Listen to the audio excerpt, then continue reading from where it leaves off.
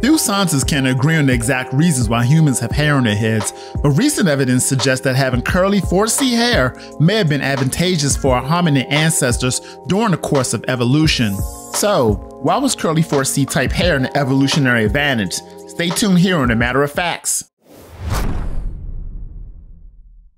Hey guys, before we start, don't forget to like and subscribe to the channel if you enjoyed the video. Andre Walker. Hello, good morning. Good morning. Now, we don't have just any hairstylist, folks. this was Oprah's hairstylist. Hello. Yeah. You are the hairstylist. For Yes. 30 years, good. That's Can amazing. imagine? Yeah. There's so many different hair types. There's so many different kinds of women from different walks of life.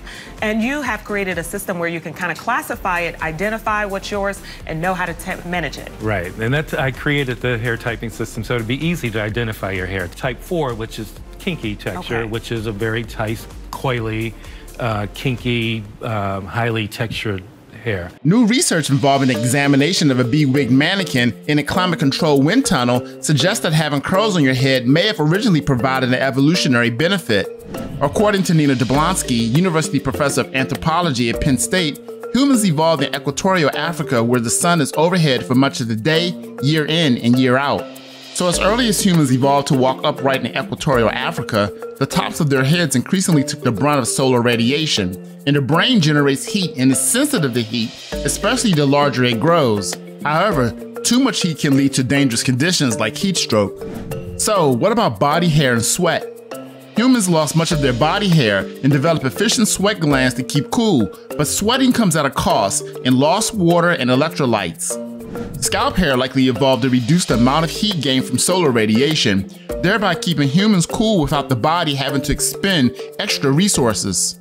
So around 2 million years ago, we see Homo erectus, which had the same physical build as Homo sapiens, but smaller brain size. And about 1 million years ago, we basically had modern day brain size, give or take. But something released a physical constraint that allowed our brains to grow. Andy is a mannequin. He lives on the ASU Tempe campus. He's designed to really teach researchers how our extreme climate can impact people who have to be outside. Maybe they don't have any other options. They work outside when our temps crawl up into the triple digits. Now, Andy has dozens of heat sensors. He also actually sweats. We'll give you a look, closer look at some of his pores, and you can actually see that sweat dripping off of The latest research on hair and texture provides important preliminary results to better understand how human hair evolved without putting humans in potential dangerous situations. The study shows that evolutionary anthropologists have an extra tool in their thermal mannequins, normally used for testing the functionality of protective clothing for quantifying human data that is otherwise very difficult to capture. The thermal mannequin is a human-shaped model that uses electricity to simulate body heat, allowing scientists to study the heat transfer between human skin and their environment. Human hair wigs are used to examine how diverse hair textures affect heat gain from solar radiation. Scientists programmed the mannequin to maintain a constant surface temperature of 95 degrees Fahrenheit or 35 degrees Celsius, similar to the average surface temperature of the skin, and set it in a climate-controlled wind tunnel. The team then took base measurements of body heat lost by monitoring the amount of electricity required by the mannequin to maintain a constant temperature. Then they shine lamps on a mannequin's head to mimic solar radiation under four scalp hair conditions no hair, straight, moderately curled, and tightly 4C curled. According to George Havenith, Director of Environmental Ergonomics Research Center at Loughborough University, UK, who led the mannequin experiment, the scientists calculated the differences in total heat loss between the lamp measurements and the base measurements to determine the influx of solar radiation to the head. They also calculated heat loss at different wind speeds and after wetting the scalp to simulate sweating.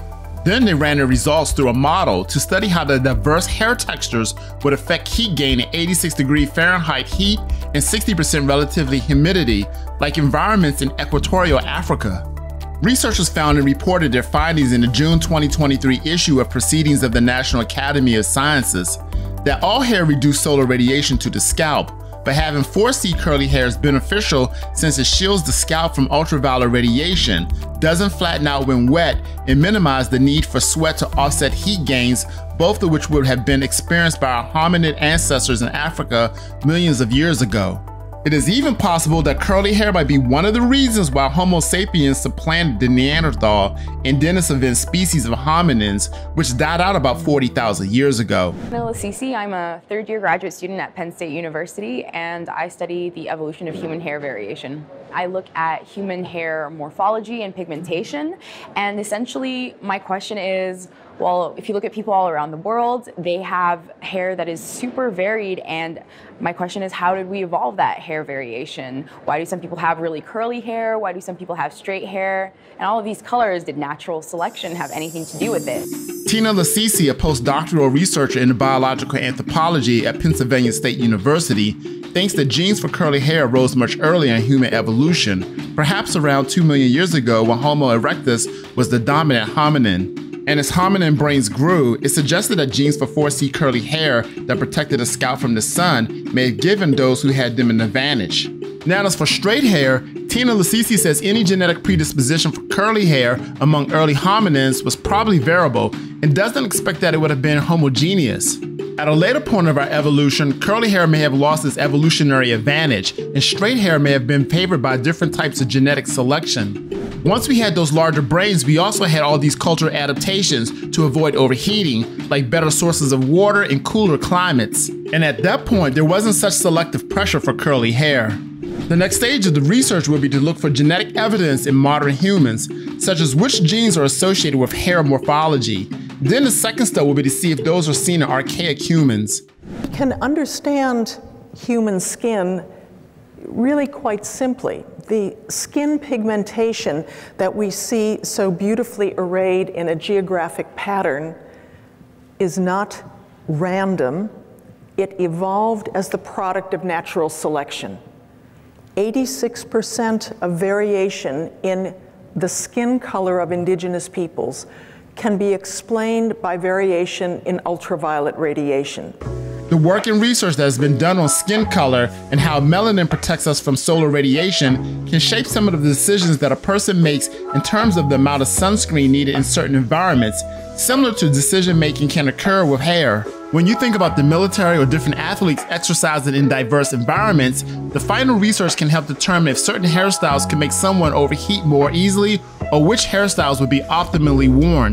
Hey guys, we come to the end of the video. What do you think about the latest research on hair, specifically 4C curly hair and its evolutionary advantage? Let me know in the comment section below. If you enjoyed the video, please don't forget to like and subscribe to the channel. Until then, we'll see you next time.